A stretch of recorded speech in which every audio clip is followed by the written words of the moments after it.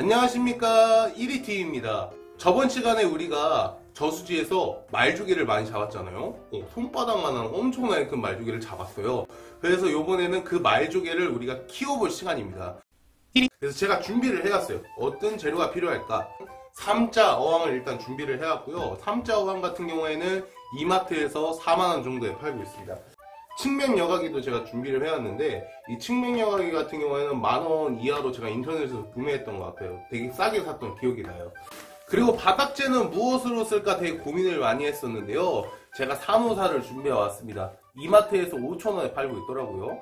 말주개가 검은색이다 보니까 이 흰색이랑 잘 어울릴 것 같아서 제가 이걸 준비를 했어요.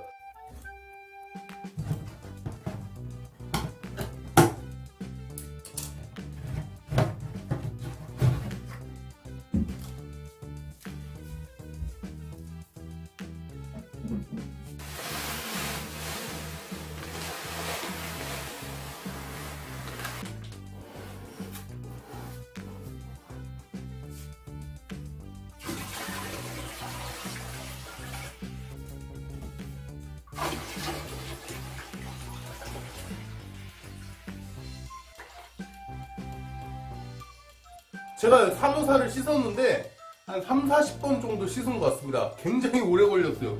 엄청 부유물이 굉장히 많았어요. 그래서 씻다가 씻다가 씻다가 이제 맑아져가지고 제가 물을 채워줬어요. 음, 이제 그리고 이게 꼭 필요하죠, 이거. 측면 여왕입니다, 측면 여왕이.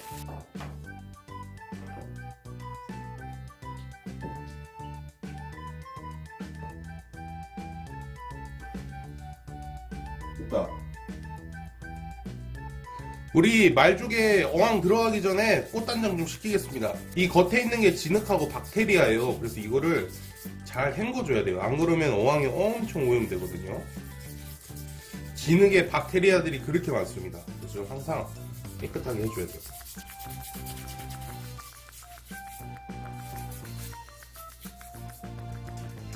자, 말죽의 친구들 들어갑니다.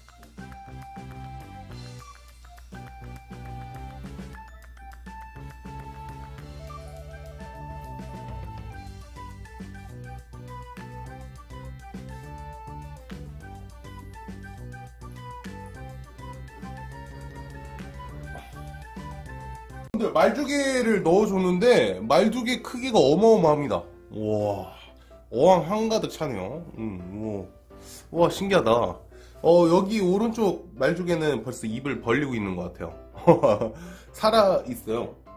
어, 살아 있고 조금 적응 기간이 좀 필요할 것 같습니다. 와 어항 위쪽에서 한번 보여드릴게요. 와 진짜 크다. 이거 보세요. 보세요. 우와. 어마어마하죠. 딱 이게 큰 말조개가 3개가 들어갈 정도의 사이즈인 것 같아요. 음, 딱입니다, 딱. 이제 LED 전구만 오면은 설치가 완료가 될 텐데, 일단 먹이를 줘야 될 거 아니에요? 먹이. 말조개의 먹이가 또 따로 있습니다. 제가 구해왔고, 그거를 여러분들께 알려드리도록 할게요.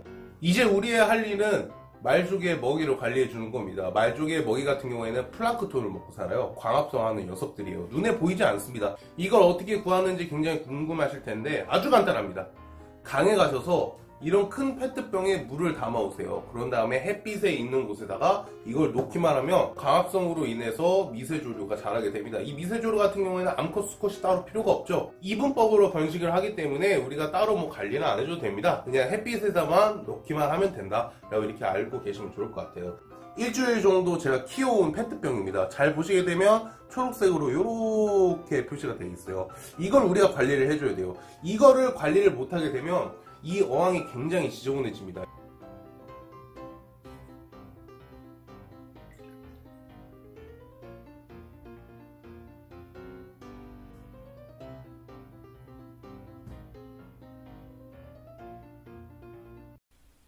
저희가 이제 오늘부터 말조개를 키워볼 텐데요. 굉장히 재밌을 것 같아요. 좀 흥미로운 점은 말조개가 입을 살짝 벌리고 있다가 닫고 숨을 쉴 때 살짝 열고 하는 것을 반복하고 있는 것 같아요.